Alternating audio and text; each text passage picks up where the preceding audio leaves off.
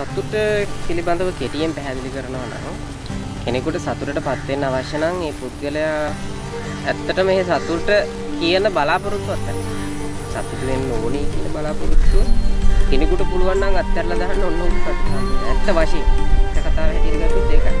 කෙනෙක්ට සතුට වෙන්න අවශ්‍ය නම් ඒ පුද්ගලයා ඒ සතුට වෙන්න ඕනේ කියන බලාපොරොත්තුවක් අත්හැරලා දාන්න ඕනේ. දැන් ගොඩාක් මිනිස්සු කල්පනා කරනවා සියලු දේ මට ඕන විදිහට සිද්ධ වෙන්න ඕනේ. මේ දේ මේක නම් මට ඕන විදිහට කතා කරන්න ඕන මේක නම් මට ඕන විදිහට ජීවත් වෙන්න ඕන මේක නම් මට ඕන විදිහට hina වෙන්න ඕන ওই විදිහට අපි සමාජයේ සමාජය දිහා දැකලා සමාජයේ ඉන්න මිනිස්සු දිහා දැකලා ඒ අය අපිට අවනත වෙන්න ඕනේ කියලා අපි කල්පනා කරනවා. ඒ අය අපිට ඕන විදිහට ජීවත් වෙන්න ඕනේ කියලා කල්පනා කරනවා. වෙන්න මේ අරමුණ තියෙන තාක්කල් පුද්ගලයෙකුට සතුටු වෙන්න බෑ. ඒ වගේම මේ සමාජයේ වෙන සියලු දේවල් සමාජයේ දැන් අපිට සමාජයේ දොස් කියනවා. සමාජයේ අඩුපාඩු හොයනවා. දැන් බුදුහාරන්ටත් නොඑක් කතන්දර ඒ බුද්ධ කාලයේදී කිව්වා. අදටත් එහෙමයි. එතකොට මේ වගේ ශ්‍රේෂ්ඨ උත්තරමයන් වහන්සේලාටත් මිනිස්සු නිඳා කරනවා නම් අපහාස කරනවා නම් අපි වගේ මිනිස්සුන්ට දෝෂාරෝපණය කරන එක මහ ලොකු දෙයක් නෙවෙයි. එතකොට පුළුවන් නම් කෙනෙකුට මේ සමාජය තමා වැරදිකරුවෙක් නොවේ නම් තමා තමා තුළ යම්කිසි අඩුපාඩුවක් නැත්නම් ඒ පුද්ගලයාට පුළුවන් නම් ඒ සමාජයේ නගන චෝදනාවල් මධ්‍යස්ථව ඉවසා ගන්න.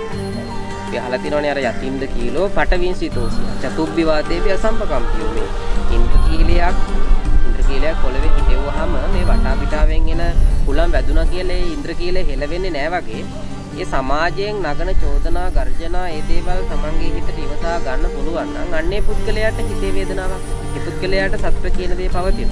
ඒ නිසා ඕනවට වඩා බලාපොරොත්තු තියා ගන්නත් එපා. ඕනවට වඩා මේ දේ මේ විදිහට වෙන්න ඕනේ කියලා හිතා ගන්නත් එපා. එහෙම වුණොත් ඒ පුද්ගලයාගේ හිත ඒ දේ සිද්ධ නොවුන වෙලාවට දුකටපත් වෙනවා. ඉතින් ඔබ ජීවිතය පිළිබඳව හිතලා බලන්න. ඕනවට වඩා බලාපොරොත්තු ගොඩාක් තියාගෙන හිටපු නිසා ඕනවට වඩා මේ දේ මේ විදිහට වෙන්න ඕනේ කියලා හිතාගෙන හිටපු නිසා ඒ වගේම සමාජයෙන් ඔබ වරප්‍රසාද බලාපොරොත්තු වෙච්ච නිසා සමාජයෙන් හොඳ දේවල්ම බලාපොරොත්තු වෙච්ච නිසා ඔබගේ හිතේ වේදනාව ශෝකය කඳුළු හටගෙන තියෙනවා. නැත්නම් කඳුළු පවතින. මෙන්න මේ දේවල් නැති කරගන්න අවශ්‍ය නම් නිදහස් නිවහල් මිනිසෙක් සියලු දේවල් පිළිබඳව සාමාන්‍ය විදිහට දකින්න ඕනවට වඩා හිතන්න යන්න. එහෙම වුණොත් එහෙම ඔබගේ හිතේ තියෙන ඉඩකඩ ඔබගේ හිතේ සතුටු වෙන්න තියෙන ඉඩකඩ ඔබ තුලින් ඉහාට නිසා කෙනෙක් තමන්ගේ හිතට හොඳින් තේරුම් ගන්න මේ සිතේ නිදහස තමයි මේ ලෝකේ තියෙන වටිනාම දේ හැටියට.